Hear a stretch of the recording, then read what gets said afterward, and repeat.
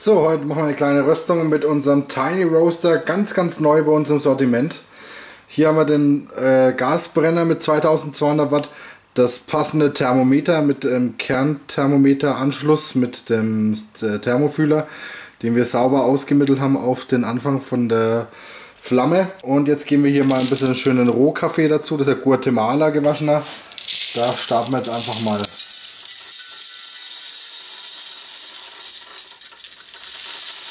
Wir haben jetzt hier 200 Gramm. Wir haben die Trommel schon vorgewärmt.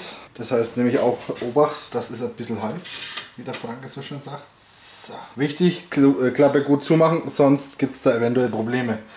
So, wir haben hier den Timer. Wir starten jetzt die Trommel. Oh, ich liebe dieses Geräusch. Und starten mit der Röstung.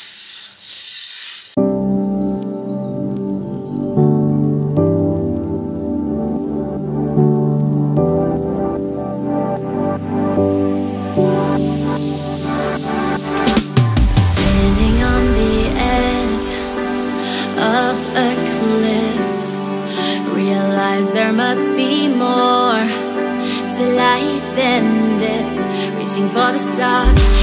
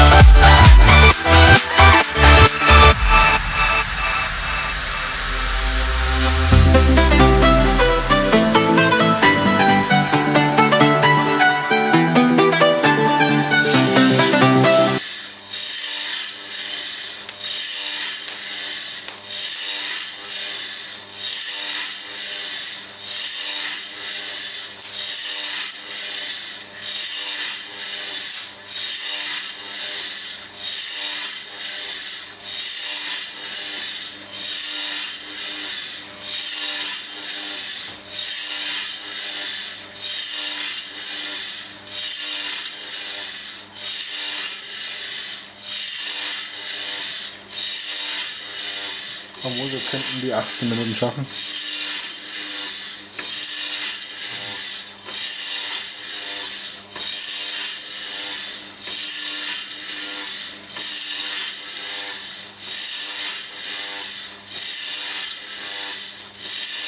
Das wird eine Punktlandung.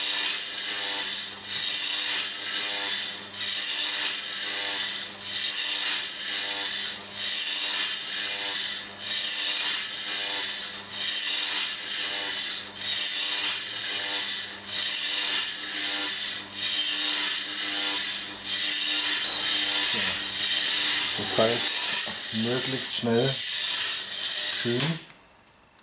Das können wir jetzt relativ flexibel machen.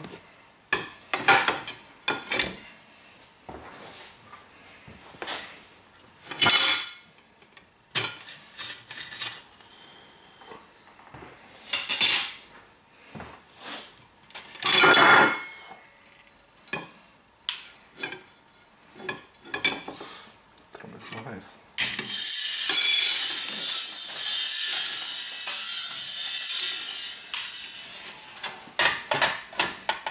Okay, zu Hause bitte etwas geschickter wie ich. So, ich bin wieder zurück. Der Kaffee ist abgekühlt. Das könnt ihr relativ unterschiedlich machen. Ähm, ich habe eine sehr coole Empfehlung von Christian Ulrich gekriegt. Der nutzt ein Mehlsieb und kühlt damit seinen Kaffee. Aber sehr tolle Idee. Danke dafür übrigens, Christian. Toller Input. Und ja, ihr könnt natürlich auch einen Föhn nehmen oder wenn ihr das Ganze auf einem Backblech verteilt und ihr habt einen Umluftofen, dann schaltet da nur die Lüftung an und lasst die Klappe vorne ein offen, dass die Wärme abziehen kann. Und dann könnt ihr das Ganze abkühlen. Ähm, ja, das ist jetzt das Ergebnis. Ist schön gleichmäßig geworden. Aber wie gesagt, ähm, trotz, trotz Gasbrenner auf einer Flamme ist das wunderbar geworden. Ich hoffe, man kann es gut sehen. Ich habe jetzt extra mal hier das, die Tageslichtlampe mal volle äh, Breitseite draufgehalten, damit man auch schön sieht. Ich habe es relativ dunkel geröstet für den einen oder anderen Geschmack. Ich mag das so. Ähm, ihr könnt das machen, wie ihr wollt. Jetzt nochmal so ein kurzer Überblick von der Gesamtsauerei. Wie ihr seht, ich habe jetzt einen Moment gebraucht, bis der Kaffee abgekühlt ist. Jetzt auch der Röster dementsprechend wieder kühler. Ähm, hier habt ihr auch nochmal dementsprechend das Gesamtbild. Das ist alles, mehr ist es nicht. Ähm, hier mal ein bisschen un ungeschönt. Darf ja ehrlich sein. Das ist der Rest drumherum. Ich habe auch mal kurz gepustet. Ja, war auch nicht ganz so clever. Aber das ist es im Großen und Ganzen. Platte raus, sauber machen und die nächste Charge machen, hätte ich gesagt. Ähm, jawohl, hier mal nochmal einen Blick rein. Da wird hier super gewalzt. Ähm, das Ganze. Und hier könnt ihr auch dementsprechend eure eigenen Thermometer oder Ther Thermofühler äh, nutzen. Das heißt, wenn ihr da gleich vielleicht einen Laptop dran packt und wollt es aufzeichnen, dann überhaupt kein Problem. So, das war jetzt hier äh, der gewaschene Guatemala ähm, bei 18 Minuten mit knapp 190 Grad Zieltemperatur. Äh, super geworden. Ich werde die nächsten Tage kappen und dann schauen wir mal, ob der so ist, wie ich mir das vorstelle. Wir hatten im Vorfeld ja schon einige gemacht, die waren auch echt lecker. Da habe ich auch dementsprechend einige Tester hier gehabt, die den unter anderem verröstet haben. Ähm, teilweise sehr viel heller, also super interessant. Jeder hat seinen eigenen Stil und das Ergebnis ist immer wieder super interessant und aufregend. Äh, das Fazit zu dem kleinen frechen Teil hier ist aber eindeutig, ähm, kann mit den Probenröster mithalten. Und das hat mich natürlich sehr gefreut. Also das ist keine Meinung, die ich jetzt aufgestellt habe, sondern es ist eine Meinung der Tester, die ich dazu unabhängig eingeladen habe ähm, die das Ganze dann natürlich auch ein bisschen kritisch beäugt haben, weil sie sagen, oh, Gas mit einer Flamme, ob das gleichmäßig wird. Aber ich möchte jetzt mal ganz mutig behaupten, also das schaut super aus. Also das ist gleichmäßig. Natürlich hast du den einen oder anderen, äh, die eine oder andere Nut dabei, weil es halt einfach auch dementsprechend gewaschener ist. Ähm, das Screen ist ein bisschen ausgefallener. Ne? Ich sag mal so, ist halt was Einfaches zum Testen gewesen. Ähm, wenn du jetzt zum Beispiel ein Capi Royal mit einem reinen 17er Screen nimmst, dann wird das noch gleichmäßiger. Aber da dürft ihr euch selber austoben.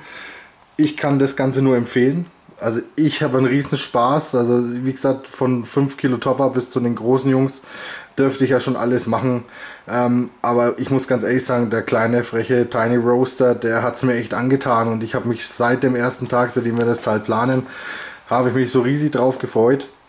Und muss auch sagen, er funktioniert traumhaft.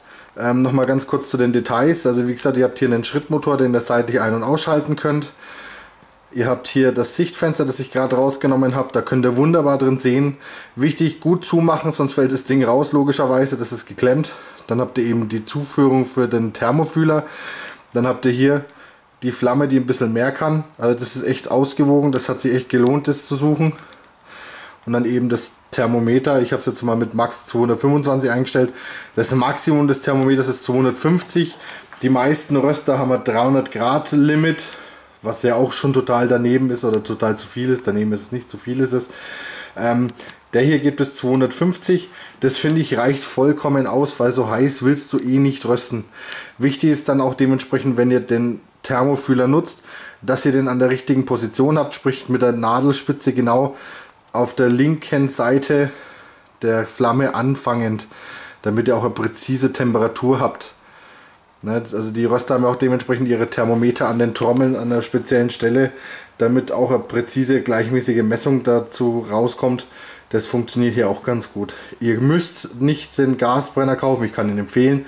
Ähm, es gibt auch viele ganz tolle andere. Vielleicht habt ihr ja schon einen, vielleicht möchtet ihr ganz klassisch über Olivenholz rösten. Auch das wäre möglich. Also wie gesagt, das ist das Schöne an dem Röster. Er ist sehr, sehr variabel einsetzbar. Ähm, aber wie gesagt, die Ergebnisse dürfen sich auch sehen lassen. Ich sage danke fürs Zuschauen von diesem mega Wälzer Video.